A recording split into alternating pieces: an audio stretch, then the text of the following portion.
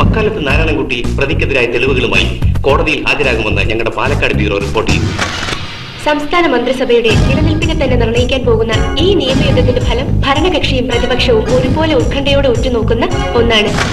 നിന്റെ മാനം രക്ഷിക്കാനുള്ള വല്ല വകുപ്പും കണ്ടുപിടിക്കണോ വക്കീലേ? ഒരു പോയിന്റ് ഉണ്ട്. കോടതി അന്യായത്തിനെ സംബന്ധിച്ച് നിയമപരമായി വിവരങ്ങൾ ശേഖരിച്ചത് ഒരു വർഷത്തിന് ശേഷമായതുകൊണ്ട് വകുപ്പ് ഒൻപത് പ്രകാരം അത് നിൽക്കില്ല തമിഴ്നടിച്ചു വീഴും. കേസ് ചളമാവും. വകുപ്പ് പത്തിന് ക്രിമിനൽ നടപടി നിയമം ഇരുന്നൂറ്റി രണ്ടിനേക്കാൾ പ്രാധാന്യമുണ്ട്. ആരാടോ ഈ നിയമങ്ങളൊക്കെ ഉണ്ടാക്കണത്? അവന്റെയൊക്കെ ഒടുക്കത്തെ വകുപ്പ് നിയമവും.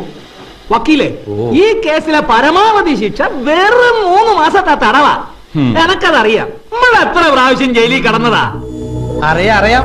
അനക്കറിയാം. ഓരറിയത്തില്ല. അതുകൊണ്ട് നമ്മൾ മന്ത്രിയായി. ഇപ്പൊ വിദ്യുച്ഛക്തി മന്ത്രിക്ക് വക്കാലത്ത് നാരായണൻകുട്ടിന്റെ ഷോക്ക് ട്രീറ്റ്മെന്റ് എന്ന് പത്രത്തിലെ തലക്കെട്ട്. ആ വഴിക്കൊന്ന് ആലോചിച്ചാലോ സാർ? സാറിന് മെന്റൽ ആണെന്ന് പറഞ്ഞ ഒരു ഷോക്ക് ട്രീറ്റ്മെന്റിന്റെ സർട്ടിഫിക്കറ്റ് സംഘടിപ്പിച്ചാലോ? എടോ ഒരു സർട്ടിഫിക്കറ്റ് തിരുത്തിയതിന്റെ ഊരാക്കൂട് കഴിക്കാൻ ശ്രമിക്കുമ്പോഴാണ് മറ്റൊരു സർട്ടിഫിക്കറ്റ്. വക്കീലെ വെള്ളത്തിൽ കിടക്കണ തവളയ്ക്ക് കരിക്ക് വെട്ടി കൊടുക്കല്ലേ?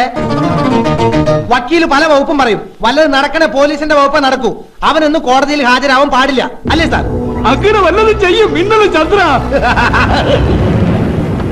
ഫോട്ടോ സെറ്റേ ഉള്ളൂ ഒറിജിനൽ ബുക്ക് എന്തി ആ പൊല്യൂഷൻ കൺട്രോൾ സർട്ടിഫിക്കറ്റ് അങ്ങോട്ട് നീക്കി ബുക്ക് എടുക്ക. ഡിക്കി തുറക്കണോ? ആ ആ. സർ അവൻ ഇന്ന് കോടതിയിൽ കൃത്യസമയത്ത് എത്തരുത്. ഓക്കെ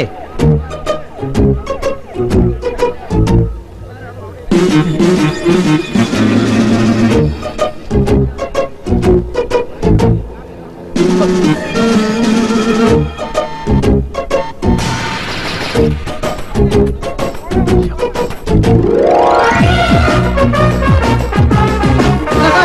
കോടതി പോകാൻ വേണ്ടി ധൃതിയിൽ വീട്ടിൽ നിന്ന് ഇറങ്ങിയപ്പോഴാ വഴിയിൽ ഒരു ബ്ലോക്ക് ഞാൻ വിചാരിച്ചു വല്ല ആക്സിഡന്റ് ആയിരിക്കും.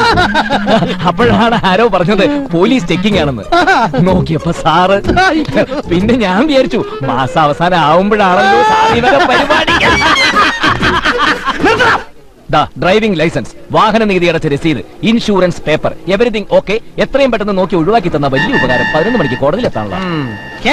ലൈസൻസ് എടുക്കടാ. ഓ? ലൈസൻസ് എടുക്കടാ. ഓ, അതല്ലേ ഇപ്പൊ തന്നത്? എപ്പോ തന്നു? എന്തോ? എന്താ? ഓ അങ്ങനെ. ഓ പിങ്ങനെയാ സാറേ ഇത് വക്കാലത്ത് നാരായണൻകുട്ടിയാ അയാളോട് നിയമം പറഞ്ഞാലേ സാറിന് ഉത്തരം മുട്ടിപ്പോവും ഇവൻ നിയമം പറഞ്ഞോണ്ടിരുന്നോട്ടാ അതിന് ആക്ഷൻ എടുക്കാനുള്ള അധികാരം ഇരിക്കുക ഇവനെ ജീപ്പിലേക്ക് എടുക്കറ ഇവന്റെ സ്കൂട്ടർ സ്റ്റേഷനിലേക്ക് എടുക്കറ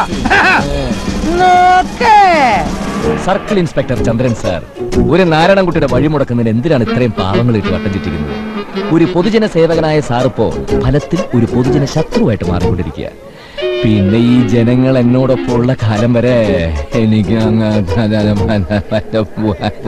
വക്കാലത്തിന് വെറുതെ വിട്. നാരായണൻകുട്ടിനെ വെറുതെ വിട്ടില്ല? എന്ത് ചെയ്യുന്ന?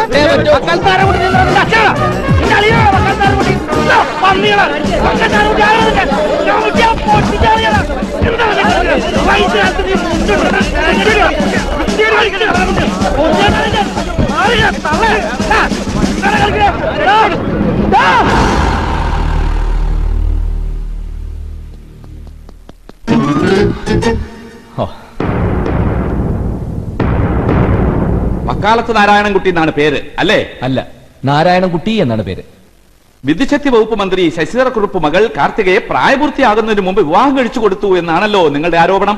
അത് മാത്രമല്ല ഞാൻ മന്ത്രിക്കെതിരെ കേസ് ഫയൽ ചെയ്തപ്പോൾ പ്രായപൂർത്തിയാകാത്ത മകളുടെ സ്കൂൾ സർട്ടിഫിക്കറ്റിലെ ജന്മതീയതി തിരുത്തി ബഹുമാനപ്പെട്ട കോടതി മുമ്പാകെ ഹാജരാക്കി കള്ളത്തെളിവ് നൽകിയ വകയിൽ ഇന്ത്യൻ ശിക്ഷാ നിയമം വകുപ്പ് നൂറ്റി തൊണ്ണൂറ്റൊന്ന് പ്രകാരമുള്ള കുറ്റവും ചെയ്തിരിക്കുന്നു. ശൈശവ വിവാഹ നിരോധന നിയമം ലംഘിച്ചു എന്ന് വ്യക്തമായിട്ട് അറിയാവുന്ന ആളാണ് മന്ത്രി. പരമാവധി ശിക്ഷ മൂന്ന് മാസം വെറും തടവും പഴയും. പക്ഷേ കോടതി ശിക്ഷിക്കുമെന്ന് ഉറപ്പുള്ളത് കൊണ്ട് ശിക്ഷയിൽ നിന്നും രക്ഷപ്പെടുന്നതിന് വേണ്ടി കളവായ വിവരങ്ങൾ കോടതിക്ക് നൽകി എന്നുള്ളത് മറ്റൊരു കുറ്റം. ഐ പി സി സെക്ഷൻ ഇരുന്നൂറ്റൊന്ന് പ്രകാരം കോടതിക്ക് പരമാവധി ഏഴ് വർഷം വരെ ശിക്ഷിക്കാം. ഇനിയിപ്പോ തിരുത്തിയ സർട്ടിഫിക്കറ്റ് ശരിയാണെന്ന് തന്നെ ഇരിക്കട്ടെ. മകൾ കാർത്തികയ്ക്ക് പതിനെട്ട് വയസ്സായെങ്കിൽ മന്ത്രി ശശിധരക്കുറുപ്പിന്റെ ഭാര്യ മല്ലിക വിവാഹത്തിന് മുമ്പ് ഗർഭിണിയായിരുന്നു എന്ന് സമ്മതിക്കേണ്ടി വരും.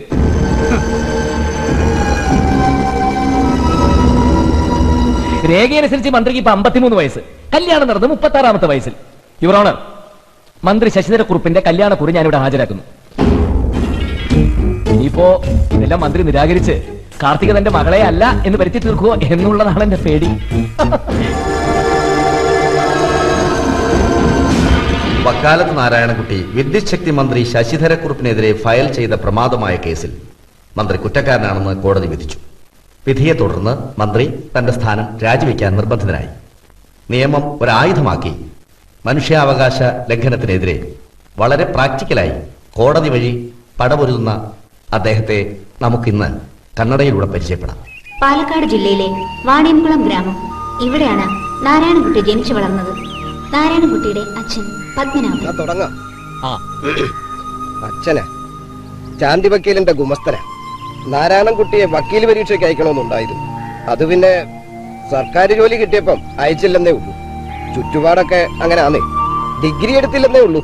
നാട്ടുകാർക്ക് അവനൊരു വക്കീൽ തന്നെയാ. അതല്ലേ വക്കാലത്തെന്ന് വിളിക്കുന്നത്. അത് കേൾക്കുമ്പം ഒരു സന്തോഷവുമാ രസവുമാ മതിയല്ലോ. അമ്മ അനുജത്തി നിവേദിത. നാട്ടുകാരുടെ എല്ലാ പ്രശ്നങ്ങൾക്കും അവൻ ഏത് കോടതിയിലും പോകും പക്ഷെ വീട്ടിലെ ഒരു കാര്യത്തിലും. അതിലെനിക്ക് പരാതിയുണ്ട്. പക്ഷെ നാട്ടുകാർ പറയുന്നത് ഏട്ടൻ ഇലക്ഷൻ എന്നാ ജയിക്കുമെന്നാ? തിരുവനന്തപുരത്തേക്കുള്ള സ്ഥലമാറ്റം താങ്കൾക്കൊരു പണിഷ്മെന്റ് ആണെന്ന് പറഞ്ഞാൽ? തിരുവനന്തപുരത്തേക്കൊരു പണിഷ്മെന്റ് ട്രാൻസ്ഫർ ഒന്നുമല്ല. സെക്രട്ടേറിയറ്റിൽ ഒരു ഡെപ്യൂട്ടേഷൻ ചിലപ്പോ അവർക്കിതൊരു പണിഷ്മെന്റ് ട്രാൻസ്ഫർ ആയിരിക്കാം. പക്ഷെ എനിക്ക് അങ്ങനെ തോന്നിയിട്ടില്ല.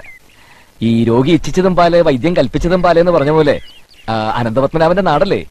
പാൽക്കടലിൽ കിടന്നുകൊണ്ട് അനന്തപത്മനാഭൻ നീട്ടിയൊരു വിളിയ. വക്കാലത്ത് നാരായണൻകുട്ടിയേ ഇന്ന് വിളി കേൾക്കാതിരിക്കാൻ പറ്റുമോ ചിലപ്പോ അസുരന്മാർക്കെതിരെ കേസ് കൊടുക്കാനാവും.